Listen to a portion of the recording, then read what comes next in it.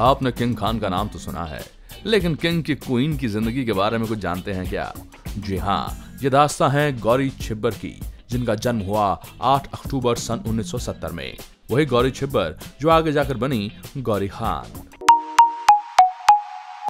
गौरी छिब्बर का जन्म दिल्ली शहर में हुआ, और ये एक पंजाबी हैं। इनकी माँ का नाम सविता और पिता कर्नल रमेश चंद्र छिब्बर। ये दिल्ली के पंचशील पार्क इलाके में पली बढ़ी। इनकी पढ़ाई लिखाई हुई लोरेटो कॉन्वेंट स्कूल में। हालाँकि इन्होंने अपनी इलेवेंथ और ट्वेल्थ पूरी की मॉडर्न स्कूल दिल्ली से। और फिर ग्रेजुएशन की लेडी श्री राम कॉलेज से। इनके पास बैचलर ऑफ़ आर्ट्स की ऑनर्स डिग्री है, वो भी हिस्ट्री में। ये बात भी कम लोग जानते हैं कि इन्होंने छह महीने का एक छोटा सा कोर्स किया था एन से, वो भी फ़ैशन डिज़ाइनिंग में। इनके पिता का गारमेंट बिज़नेस था, इसलिए इन्होंने टेलरिंग भी सीखी। अब सवाल ये कि आखिर गौरी छिब्बर शाहरुख खान से कहा मिली?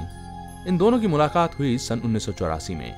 शादी हुई उन्नीस में, तारीख 25 अक्टूबर। और ये शादी शाहरुख खान के सुपरस्टार बनने से बहुत पहले हो गई थी। इस शादी से इन्हें तीन बच्चे हुए।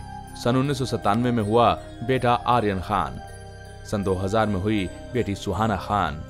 और सन 2013 में हुआ बेटा अब्राम खान, जो कि सरोगेसी से हुआ था।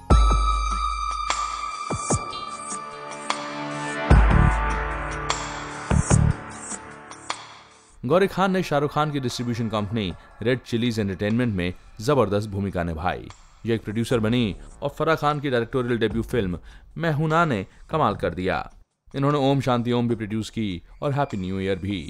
ये बात कम लोग जानते हैं कि ये एम इंडिया के एक weekly Hindi music countdown show की एंकर भी थी। जी हाँ उसका नाम था ओए।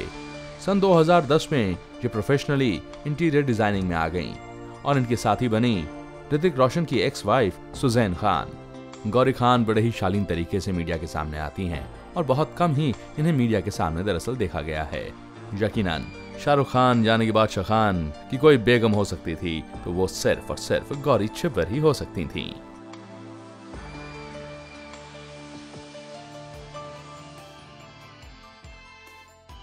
महान प्रतिभाओं की अनोखी दास्तानें जानने के लिए सब्सक्राइब करें पीपल एंड हिस्ट्री